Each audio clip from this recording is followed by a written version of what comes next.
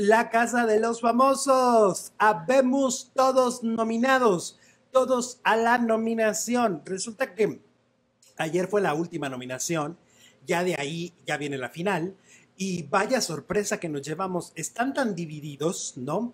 Eh, finalmente hay tres del equipo, que era el equipo, ahora ya no son equipos, pero eh, sí lo fueron casi todo el programa, el equipo morado, ¿no? Que fueron em, Laura, Cervoni y Daniela, ¿no? Sí. Y luego por el otro lado está eh, Tony, Tony, Nacho Ivonne y Nacho. e Ivonne. Sí, exacto, son seis, ¿no? Quedan seis. Sí. Que realmente Tony e Ivonne fueron más del equipo azul, pero en realidad se quisieron mantener como muy en medio, aunque por momentos sí se veían más inclinados hacia el azul. En realidad de los azules quedó uno. O sea, quiere decir que ganó el equipo, eh, el equipo morado. Porque, El de Laura. El de Laura, porque quedaron tres, ¿no? Bueno, oficialmente no. Bueno, vamos a suponer que sí es como tú dices, que sí quedaron. Que ganó Laura, pues, pero ahora viene la, la parte buena. Ajá, exacto. Porque, a ver, eh, en este momento están todos nominados, todos corren peligro, menos Ivonne Montero, ¿no? Ivonne Montero tiene asegurado su lugar eh, en, la, en la final, ya está. Pero de estos cinco que estamos hablando, uno de ellos va a salir, va a ser el último expulsado. Es el que se va a quedar en la rayita, es el que se va a quedar a punto de ganar o a punto de, llegar a la final. Em, Daniela, Laura, Nacho, Salvador y Tony. ¿Quién creen que sale? Sale. Yo digo que está entre Daniela y Nacho. Siento que Tony está seguro, que Salvador está seguro y Laura también. Pero creo que está entre Nacho y Daniela. Capaz que sale Laura, ¿eh? Ahora, a mí me encantaría como espectador que saliera Daniela. No porque tenga nada en contra de ella, en realidad no. O sea, me viene no importando.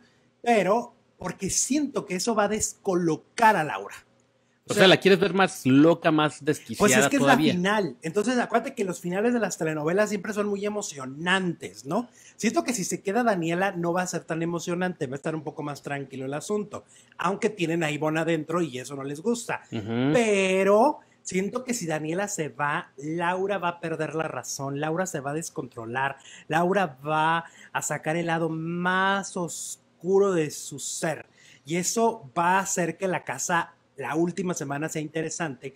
Porque, a ver, como quedan menos, se vuelve menos interesante siempre la última semana de Big Brother. ¿no? Siempre en la historia de los Big Brother, siempre se han, este, las últimas semanas siempre son como, "Mm", porque ya quedan poquitos y regularmente quedan los que se portan bien. Creo que es la primera ocasión que quedan villanos, que queda Cervoni y queda Laura, que son, que son villanos que hacen molest que se molestan a los demás, etcétera, ¿no? Entonces creo que si sale Daniela, ahí vamos a tener contenido. Siento que eso es lo importante, el contenido que al final de cuentas a nosotros nos gusta como chisme. Ujú. Obviamente Laura va a perder más bonos que qué, ya de por sí ya los perdió. Fíjate, al principio siento que ganó muchos seguidores y ganó mucho, mucha gente que la empezó a querer, pero conforme, conforme fue pasando el programa, los fue perdiendo, ¿no? Sí, no claro. los mantuvo.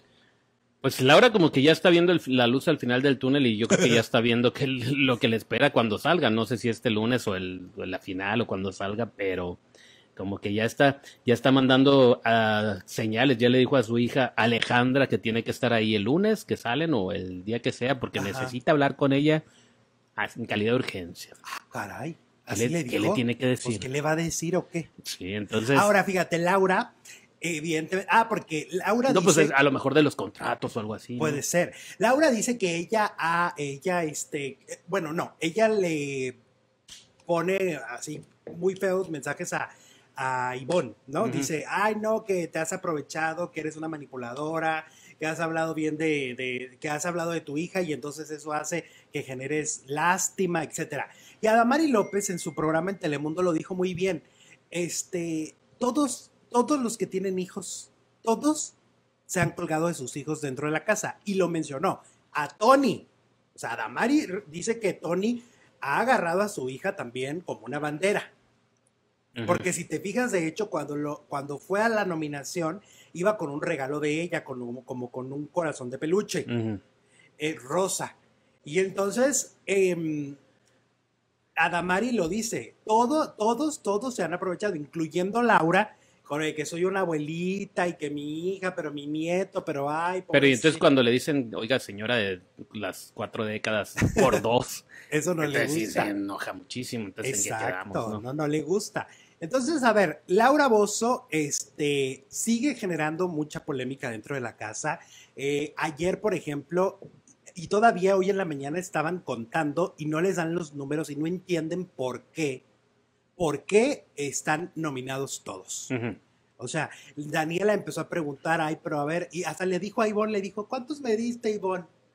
Le dijo, y luego Ivonne así le dice, no, pues ya sé que me nominaste, dime cuántos me diste. Y le dice, uno, uno. Ajá. Y luego le dice, ¿Y a quién más nominó? A Ivonne- Laura. Ivonne a Laura. Dos. Y sí, y Laura le dice, ya ves, a mí de seguro me dio dos. Y luego le dice Daniela, no creo. Le dice, ¿qué no estás viendo que me detesta? Le dice Sí, Laura pues, era- Pues sí. eh, pues eso es obvio, no, tienen, no tendrían de es qué obvio. este, sorprenderse. ¿no? Es congruente por parte de Ivonne Montero, ¿no? Ahora, nunca se traicionaron entre Cervoni, Daniela y Laura, nunca se traicionaron con las nominaciones. Se traicionan cada cinco minutos diciendo cosas feas uno del otro, ¿no? O sea, Cervoni va y le dice cosas a, a Ivonne de Laura, ¿no? De, ay, esta mujer está mal, que no sé qué.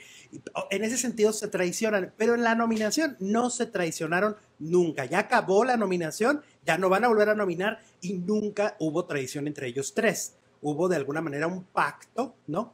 Este, en este caso, en lugar de que fuera un pacto entre los dos, como decía Talía, era un pacto entre los tres y eso les ayudó. Porque si hubieran nominado, a lo mejor si se hubieran nominado entre ellos, tal vez no estarían todos nominados. Pero Ujú. ayudó a que todos están nominados, todos a la nominación. En la mañana yo todavía vi a Nacho. Como cuando dicen todos a la final, ahora es todos, a todos la nominados, todos en peligro, ¿no? Ajá. No hay nada seguro. Vamos a ver qué sucede. quién es el, el último expulsado y ahí ya sabremos quiénes son los cinco finalistas. Ahora, la última semana va a ser muy complicada para Ivonne Montero, se vaya o no Daniela, porque Laura está descolocada. O sea, Laura eh, va a perder la razón otra vez en algún momento del día, Eh, hoy, mañana, pasado, ¿no? O sea, siempre, es, es una mujer que de verdad está muy, muy mal. Eh, y vamos a ver cómo le va a la pobre de Ivonne. Yo siento que Laura, y ojalá Ivonne no caiga en la provocación, va a intentar por todas las formas Que le pegue, sacarla de quicio. que le pegue. Que le pegue o que se enoje o que muestre un lado oscuro. Es lo que creo que va a intentar. Por todas las maneras, yo de verdad espero que la buena vibra que se está enviando desde fuera para Ivonne Ay, caray, tenga y resultado. esa foto de- no la había visto. De que de- De Laura. Oye, fíjate, eh, en la mañana yo estaba hablando con alguien que es muy, eh, eh, es con- conoce toda esta cuestión de la, de la belleza, Ajá. y entonces le dije, oye, Laura no es tan grande, vamos a ser honestos, en las redes sociales se burlan mucho de Laura por, por, por su cara, ¿no? Sí. La critican mucho. Entonces le dije, ¿por qué si no es tan grande tiene tantas arrugas? Ajá. Y entonces ya me explicó, me dijo, mira, Por el sol. fuma, Fuma. fuma, ¿En la casa ha fumado? sí, ¿A poco? fuma. No, es que no fuman ahí, Es fumadora, Escondi- de- de- escondidas, decía mi abuela. Se meten a un cuartito. Este, fuma. Ay, Diosito. Se asolea mucho. Ajá. Las luces del foro de toda la vida acaban muchísimo. Pero aparte Laura siempre está en tensión, nunca la ves relajada, No, nunca. nunca. la ves tranquila, entonces Exacto. eso tensa todo. Sí. Imagínate la cara todo el tiempo. Come muy mal.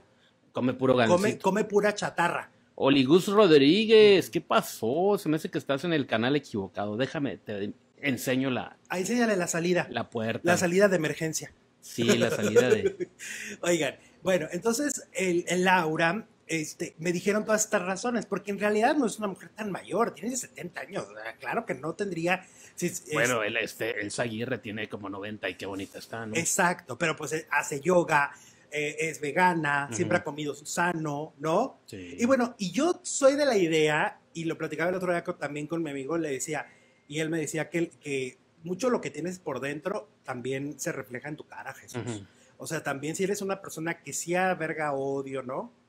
O sea, si, si, si vas a albergar, este, aquí, en sentimientos feos, ¿no? ¡Pum! Se refleja. Entonces, yo creo que, que Laura tiene por ahí este, muchas emociones raras, ¿no? Sí. Y creo que a todos nos queda claro. Creo que Pero cuando vives en, en- Es que en la casa yo nunca vi a Laura eh, relajada, No. siempre peleando con los demás. Yo creo que así es su vida, ¿no? Sí, Como Sí, que así es su vida y entonces se refleja, como dices tú. La gente que ha trabajado con ella lo dice, ¿no? Ujú. O sea, eh, hay mu- historias muy truculentas, muy turbias respecto a cómo trata a sus empleados, ¿no? Cómo les grita, cómo viven en un constante miedo. Al jefe nunca hay que tenerle miedo. Si un jefe provoca miedo, no es un buen líder, no es un buen jefe, ¿no?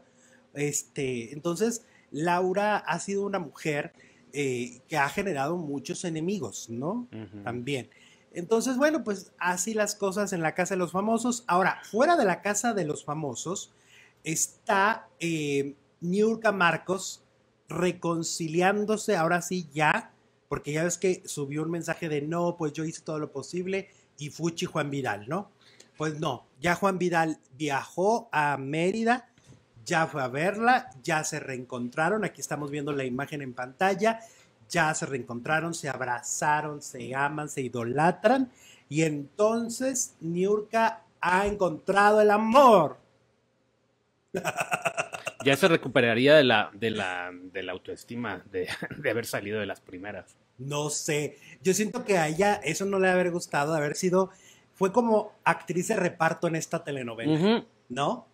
Exacto, me estoy tomando un O sea, la villana de esta novela se llama Laura Bozo. Es que ella se creía la protagonista, La la, protagonista mera, mera, Montero. por encima de, de Laura Bozo y de, de todos los demás. Sí, Entonces, el haber salido como la de, de las primeras como nada que ver. y que ahora se esté hablando de Laura Bozo, de Ivonne Mortero, de Salvador Cervoni y de Mm. New York ya nadie habla más que sus romances que tuvo. no le que- debe gustar. Pues de hecho, no. sigue toda frustrada y sigue publicando audiencias falsas, porque eh, ella, ella lo debe saber. New York, estás publicando ratings falsos de la Casa de los Famosos. Publica las audiencias. Hay, hay dos mediciones. Hay una que es el total de personas, ¿no? Sí. Y hay una medición que es entre la edad de 18 a 40 y tantos, ¿no? Entonces ella publica la de 18 y dice que a partir de que ella salió, el rating bajó. Eh, Eso no es cierto, el rating sigue altísimo, le siguen ganando a Univisión, le están ganando a las telenovelas de Univisión, tienen un millón doscientos, un millón trescientos, está súper estable la audiencia y ella está mintiendo, ella le miente a sus seguidores, pero es porque está ardida, está enojada. Entonces, Mamá New, mira, a ver si el ya tener a Juan Vidal la pone un poco contenta y un poco feliz. Yo espero que sí. ¿Cuánto le dan a esta relación? Vamos a ser honestos. A ver, descontrólense en el chat. ¿Cuánto tiempo dan ustedes a la relación Juan Vidal Niurka Marcos? Yo le doy un mes. Eh, dos cheques. Dicen que la ilusión dura como dos meses. Ajá. O sea, este descontrol de así. Entonces, yo le doy un mes, porque es Niurka. Entonces, todavía va a durar menos. Bueno, pues es que también hay que ver sus antecedentes. ¿Cuánto duró con Bobilarios? Ah, ahí sí y, duró con, mucho. y con el con otro cubano. este, Ese duró nada. que después con Eduardo Antonio. de- de- después salió del closet, ¿no? Ajá, Eduardo Antonio. Entonces, yo le doy un mes. Di tu apuesta, Jesús. Mm, Estamos a, a 29, a 29 de julio. Yo le doy dos meses. Ok, Nomás dos para no meses. estar iguales. ¿Cuánto le dan ustedes? ¿Cuánto dan? Me siento como en el casino. ¿Cuánto dan? ¿Cuánto dan? Se abren las apuestas. Oye, dice Moisés Navarro, ¿qué opinan de que Alex Fernández se presentó en el programa hoy? No que los Fernández odian a Televisa. Estuvo en hoy Alex Fernández poco hablando de, de Vicente Fernández, de los consejos que le dio, de todo, y cantó y todo el rollo. Pues está bien, está bien porque ellos no son los que están peleados. Los que Pues están es que- peleados son los, los Gerardo y.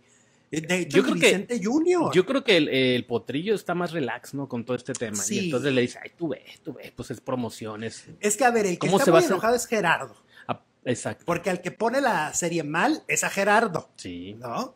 O sea, en, en realidad. Y yo creo que los demás están muy conscientes de que en medio de la serie hay verdades. No, y al potrillititito, o sea, Alex Fernández lo ponen pues de niño, ¿no? Exacto. Entonces no hay problema. Y a Alejandro Fernández jamás lo tocaron en la serie. No.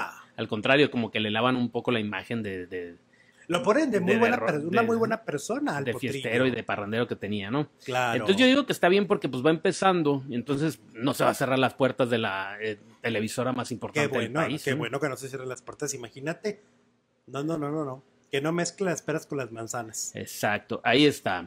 Y tenemos super chat de Rita Boschetti que nos mandó 10 euros. Hola Rita, ¿cómo estás? Hola Rita, ¿cómo andas? Y también un corazonzote gigante. Qué hermosa, muchas, gracias. Rita, gracias. Eres de nuestras faranduleras más fieles, eres de las que más ha estado con nosotros desde hace mucho tiempo y te lo vamos a agradecer eternamente. Muchas gracias. Exacto. Respecto a la encuesta, ah, mira, tenemos encuesta. A ver. ¿Crees que Ingrid Coronado tiene razón de pelear la casa de Fer del Solar?